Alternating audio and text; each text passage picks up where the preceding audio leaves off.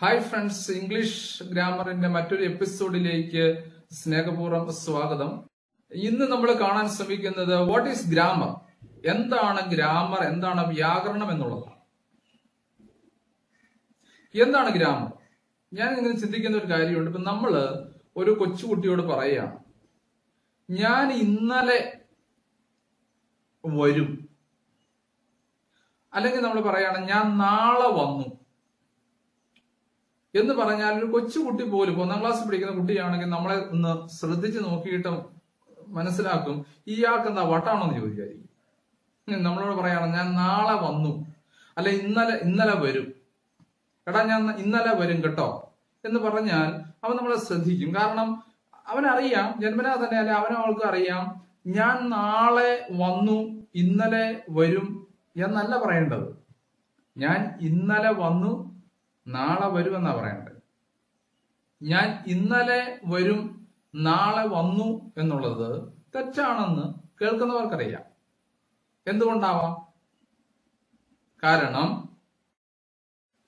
we acquire a working knowledge of our native language simply through being expose to it from early childhood ഒരു English കുട്ടിയെ സംബന്ധിച്ചിടത്തോളം അവൻ അറിയാം I will come tomorrow I came yesterday അത് അവന്റെ ജീവിതത്തിൽ he's simply being through expose to it every day അത് അവന്റെ ബ്ലഡിൽ അവന്റെ ഓർമ്മയിൽ അവന്റെ അബോധ മനസ്സിൽ അവന്റെ മസ്തിഷ അവന്റെ ബ്രെയിനിൽ അത് ഓൾറെഡി ഇൻഗ്രെയിൻഡ് ആണ്.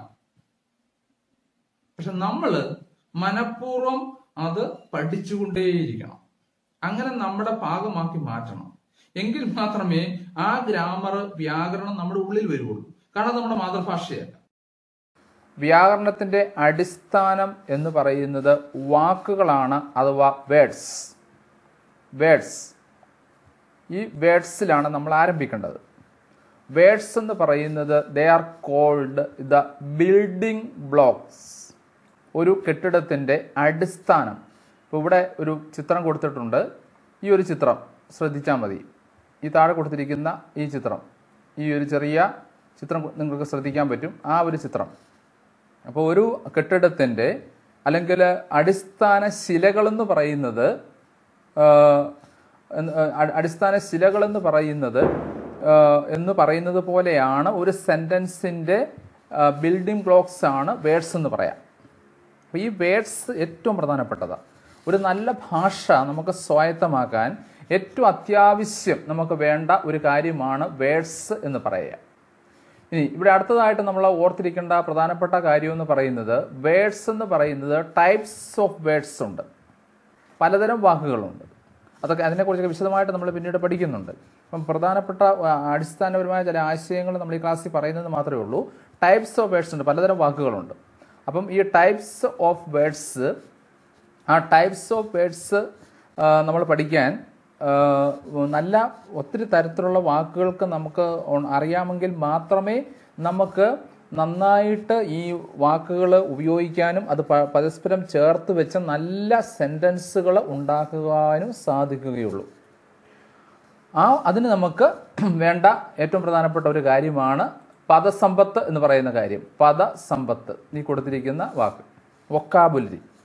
നല്ല ഒരു വൊക്കാബുലരിക്ക് നമുക്ക് ആവശ്യമായ ഒരു കാര്യമാണ് ഒരു നല്ല തെസ്സോരസ് എന്ന് പറയും. എന്ന് പറഞ്ഞാൽ തെസ്സോരസ് എന്ന് പറഞ്ഞാൽ വാക്കുകളുടെ പര്യായ പദങ്ങളാണ് തെസ്സോരസ് എന്ന് പറയുക ദ മെറിയാം വെബ്സ്റ്റർ തെസ്സോരസ് ഉണ്ട്. അതുപോലെ ഒത്തിരി തെസ്സോരസുകളുണ്ട് ഇനി ഇവിടെ ഈ ചിത്രത്തിലേക്ക് ഒന്നുകൂടെ നിങ്ങളുടെ ശ്രദ്ധ ഞാൻ കൊണ്ടുവരികയാണ്. ഈ കൊടുത്തിരിക്കുന്ന ചിത്രത്തിലേക്ക്. എന്താണത്? അതിന്റെ കാരണം? ഇനി വെറുതെ ഈ ചിത്രം ഒന്ന് നോക്കുക. പെട്ടെന്ന് നോക്കുമ്പോൾ ഓർക്കും ഇതെന്താ ഒരു വെറുതെ കുറേ കല്ലുകൾ കൂട്ടി വെച്ചിരിക്കുന്നു. അല്ല ഏതോ ഒരു നല്ല നന്നായിട്ട് കല്ലുപണിക്കാരനായ വ്യക്തി മെയ്സൺ കല്ലുപണിക്കാരൻ ഒരു മെയ്സൺ ആ കല്ലുകളൊക്കെ ഒന്ന് പെട്ടെന്ന് നോക്കിയേ എല്ലാ കല്ലുകളും ഒരു ഒരു പ്രത്യേക ഒരു ആകൃതിയൊന്നുമില്ലാത്ത കല്ലുകളാണെങ്കിലും അത് നന്നായിട്ട് ചെത്തി ഒരുക്കി വളരെ മനോഹരമായിട്ട് അത് ചേർത്ത് വെച്ചിരിക്കുന്നു. ഇനി ചേർത്ത് വെച്ചിരിക്കുന്ന കല്ലുകൾക്ക് പല ഷേപ്പുകളാണ് അതിൽ ചെറിയ ചീലുകൾ ചീകളായിട്ടുള്ള കല്ലുകളുണ്ട്. വലിപ്പം ഉള്ളതുണ്ട് വലിപ്പം കുറഞ്ഞതുണ്ട്. അങ്ങനെ പല ടൈപ്പ് കല്ലുകൾ കൊണ്ടാണ് ഇതൊക്കെ ചേർത്ത് വെച്ചിരിക്കുന്നത്. വലുതുണ്ട് ചെറുതുണ്ട് ചീ കുഞ്ഞു കല്ലുകളുണ്ട്. അങ്ങനെ പലതുണ്ട്. പക്ഷേ ഇതെല്ലാം കൂടെ ചേർത്ത് വെച്ച് കഴിഞ്ഞപ്പോൾ വളരെ മനോഹരമായ വളരെ മനോഹരമായ ഒരു ഒരു ഒരു കൽക്കെട്ടായിട്ട് ഇത് മാറുന്നു. സത്യത്തിൽ ഇതാണ് ഭാഷ. വിവിധ വാക്കുകളെ ചേരേണ്ട വിധത്തിൽ ചേർത്ത് വെക്കുമ്പോൾ അതിനൊരു ഗ്രാമർ അതാണ് ഗ്രാമർ എന്ന് പറയുക. അങ്ങനെ ഒരു ഗ്രാ ഒരു നിയമമുണ്ട്. അത് കൃത്യമായിട്ട് ഈസ് എവിടെ വെക്കണം വാസ് എവിടെ വെക്കണം വെൻ എവിടെ വെക്കണം ഇങ്ങനെ അത് ചേർത്ത് വെക്കുക. അതാണ് സത്യത്തിൽ ഗ്രാമർ എന്ന് പറയുക ലളിതമായ ഭാഷയിൽ. ഇത്രയും വിശദീകരിക്കുന്നതിന് കാരണം എന്താണെന്ന് ചോദിച്ചാൽ നിങ്ങൾ ഒരു പ്രൈമറി സ്കൂളിൽ പഠിക്കുന്ന യു പി സ്കൂളിൽ പഠിക്കുന്ന വ്യക്തിയും കൂടെ ആവാം. ഒരു പക്ഷേ ഗ്രാമർ പഠിക്കുന്നയാൾ എന്ന് അത് അടിസ്ഥാനപരമായിട്ട് മനസ്സിലാക്കിയിരുന്നാൽ മാത്രമേ ശരിയായ രീതിയിൽ ഗ്രാമർ നമുക്ക് ഉപയോഗിക്കാൻ പറ്റുകയുള്ളൂ. അതുകൊണ്ടാണ് ഓർത്തിരിക്കണം വേഴ്സ് നന്നായിട്ട് നമുക്ക് അറിഞ്ഞിരിക്കണം. അത് ബിൽഡിംഗ് ബ്ലോക്സ് ആണ്. ഒരു ചെറിയ ഉദാഹരണത്തിലൂടെ വ്യക്തമാക്കാൻ ശ്രമിക്കുകയും ചെയ്യാം അവിടെ ആയിട്ട് നിങ്ങൾ ആകാരം കഴിച്ചുകൊണ്ടിരിക്കുന്നു. നിങ്ങൾക്ക് അല്പം ഉപ്പിന്റെ ആവശ്യമുണ്ടെന്ന് വിചാരിക്കുക. അപ്പോൾ ഉപ്പിന്റെ ആവശ്യം നിങ്ങൾക്ക് ഉണ്ടെങ്കിൽ ഉപ്പ് നിങ്ങളുടെ മനസ്സിലുണ്ട്. അടുക്കളയിൽ നിങ്ങളുടെ അമ്മയുണ്ട്. നിങ്ങൾക്ക് തീർച്ചയായിട്ടും വിളിച്ചു പറയാം സോൾട്ട് എന്ന് വിളിച്ച് പറയാൻ പറ്റും. സോൾട്ട് തീർച്ചയായിട്ടും അത് മതി. സോൾട്ട് എന്ന് വിളിച്ച് പറയാം. അങ്ങനെ പറഞ്ഞാൽ നിങ്ങളുടെ അമ്മ ഉപ്പ് കൊണ്ടുവരും. ആശയം വളരെ കൃത്യമായി ഉപ്പ് കൊണ്ടുവന്ന് കഴിഞ്ഞു. എന്നാൽ നിങ്ങളിപ്പോൾ ഇംഗ്ലീഷ് സംസാരിക്കുന്ന ആളാണ്. നിങ്ങൾക്ക് അല്പം മാനം മര്യാദയ്ക്ക് അല്ലെങ്കിൽ അല്പം ഡീസന്റ് ആയിട്ട് സംസാരിക്കണമെങ്കിൽ നിങ്ങൾ തീർച്ചയായിട്ടും പറയേണ്ടത് ഉപ്പ് എന്നല്ല.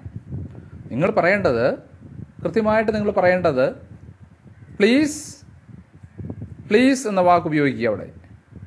അതിന് ശേഷമാണ് പ്ലീസ് മം അത് അതിനു മുമ്പ്. മം എന്ന് വിളിക്കുന്നതും കൂടെ നല്ലതാണ്. തുടക്കത്തിൽ നമുക്ക് വേണം മം എന്ന് പറയാം. Mum please get me get me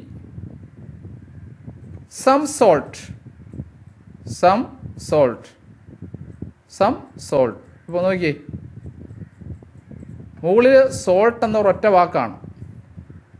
അവിടെ എത്ര വാക്കുകൾ വന്നു? Mum please get me some salt.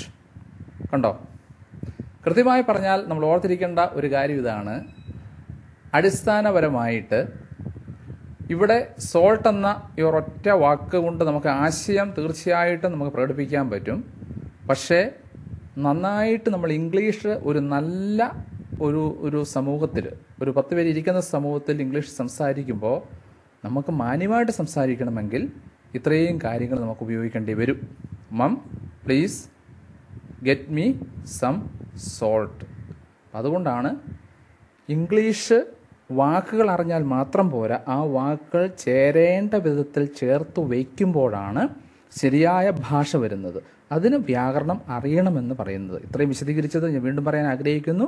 Primary സ്കൂളിലെയോ കൊച്ചു ക്ലാസ്സിലെയോ കുട്ടികൾ ഈ ക്ലാ അല്ലെങ്കിൽ ഈ ഒരു എപ്പിസോഡ് കേൾക്കുന്നുണ്ടെങ്കിൽ അവർക്ക് മനസ്സിലാകാൻ വേണ്ടിയിട്ടാണ് ഇത്രയും ഇത് വിശദമായിട്ട് പറഞ്ഞത്. സോ നമ്മൾ ഇനി ഈ ഗ്രാമറിന്റെ ഒരു ഡെഫിനിഷൻ രണ്ട് തരം ഡെഫിനിഷൻ ഗ്രാമറിനുണ്ട്. ഒരു ഡെഫിനിഷൻ നമ്മൾ കൊടുക്കുന്നത് പ്രത്യേകിച്ച് അല്പം അഡ്വാൻസ്ഡ് ആയിട്ടുള്ള സ്റ്റുഡൻസിന് വേണ്ടിയിട്ടാണ്. അതിലെ ഒരു ഡെഫിനിഷൻ കൃത്യമായിട്ട് അല്പം ഞാൻ പറഞ്ഞതുപോലെ അഡ്വാൻസ്ഡ് ആയ സ്റ്റുഡൻസിന് വേണ്ടിയുള്ള ഡെഫിനിഷൻ നമുക്ക് നോക്കാം. അത് ഇങ്ങനെയാണ്. ആ ഡെഫിനിഷൻ നമ്മൾ കാണുന്നത്. അത് ആദ്യമേ ഒന്ന് വായിക്കാം. ആ ഡെഫിനിഷൻ എന്താണെന്ന്. അത് grammar is a set of rules that determines how these building blocks are put together in different combinations to create well form phrases clauses and sentences which enable and enrich conversation ഇനി അതിലെ ഓരോന്നും ഒന്ന് എടുത്ത് നോക്കാൻ ശ്രമിക്കാം അത് ഇതാണ് പറയുന്നത് ഗ്രാമർ എന്ന് പറയുന്നത് is a well is a set of rules ഒരു സെറ്റ് ഓഫ് റൂൾസാണ് ഇനി ഈ റൂൾസിന്റെ പ്രത്യേകത ദാറ്റ് ഡിറ്റേമിൻസ് ഈ നിയമങ്ങൾ ഡിറ്റേമിൻസ് തീരുമാനിക്കുന്നു. ദാറ്റ് ഡിറ്റേമിൻസ് ഈ റൂളുകളാണ് തീരുമാനിക്കുന്നത്. അപ്പം ഇതിന്റെ ഡെഫിനേഷൻ പഠിക്കാൻ വളരെ എളുപ്പമുണ്ട്. It is a set of rules that determines ഇനി ഇതെന്താ തീരുമാനിക്കുന്നത് അതിന്റെ ചില തീരുമാനങ്ങളുണ്ട്. ആ തീരുമാനങ്ങളാണ് തൊട്ട് താഴെ പറയുന്നത്. ഹൗ ദീസ് ബിൽഡിംഗ് ബ്ലോക്സ് ഈ വാക്കിന് പ്രാധാന്യം കൊടുക്കണം. ഇവിടെ ബിൽഡിംഗ് ബ്ലോക്സ് എന്ന് പറഞ്ഞാൽ എന്താ? ബിൽഡിംഗ് ബ്ലോക്സ് എന്ന് പറഞ്ഞാൽ നമ്മൾ ഓൾറെഡി എന്താണെന്ന് കണ്ടു കഴിഞ്ഞു. ബിൽഡിംഗ് ബ്ലോക്സ് എന്ന് പറഞ്ഞു കഴിഞ്ഞാൽ നമ്മൾ പറഞ്ഞു വേഴ്സ് ആണ് വേർഡ്സ് ഇതാണ് ബിൽഡിംഗ് ബ്ലോക്സ് എന്ന് പറയുന്നത്. നമ്മൾ പഠിച്ചിരിക്കുന്ന ഈ വാക്കുകൾ എങ്ങനെയാണ് ഈ വാക്കുകൾ പുറ്റുകതർ അവയെ എങ്ങനെയാണ് ഒരുമിച്ച് ചേർക്കുന്നത് എന്ന് തീരുമാനിക്കുന്നതാണ് ഗ്രാമർ. എങ്ങനെ പുറ്റുകുതർ ചുമ്മാ പുറ്റുകുതർ ആണോ? അല്ല. ഇൻ ഡിഫറെന്റ് കോമ്പിനേഷൻസ് വിവിധ തരത്തിൽ ഇവ എങ്ങനെയാണ് പുറ്റുകുതർ ചെയ്യുന്നതെന്ന്. ഉദാഹരണമായിട്ട് പ്രസന്റ് സിമ്പിൾ പ്രസന്റ് ടെൻസിലാണെങ്കിൽ ഹീ കഴിഞ്ഞ് വോക്ക് കഴിഞ്ഞ് എസ് കൂടെ ചേർക്കണം. ഹീ എന്ന് പറഞ്ഞാൽ അല്ലെങ്കിൽ സബ്ജക്റ്റ് ഹി ആണെങ്കിൽ അല്ലെങ്കിൽ ഷീ ആണെങ്കിൽ പിന്നീട് വെർബ് വരുന്നു. പിന്നെ ആ വെർബിന്റെ കൂട്ടത്തിൽ എസ് കൂടെ ചേർക്കണമെന്ന് നിയമം. പ്രസന്റ് പെർഫെക്റ്റ് പ്രസന്റ് കണ്ടിന്യൂസ് ആണെങ്കിൽ ഹീ കഴിഞ്ഞാൽ പ്ലസ് അതിന്റെ കൂട്ടത്തിൽ ഈസോ ചേർക്കണം. അതിനുശേഷം ഐ എൻ വെർബിന്റെ കൂട്ടത്തിൽ ഐ എൻ ജി ഫോം ചേർക്കണം. അങ്ങനെ ഓരോന്നും തീരുമാനിക്കുന്നതാണ് ഗ്രാമർ എന്ന് പറയുക. അപ്പം നിങ്ങൾ ഓർക്കാം grammar is a set of rules that determines how these building blocks are put together in different combinations തീർന്നില്ല. എന്തിനു വേണ്ടിയാണ് അതങ്ങനെ പുട്ട് ടുഗദർ ചെയ്യുന്നത്? അതിനൊരു ലക്ഷ്യമുണ്ട്.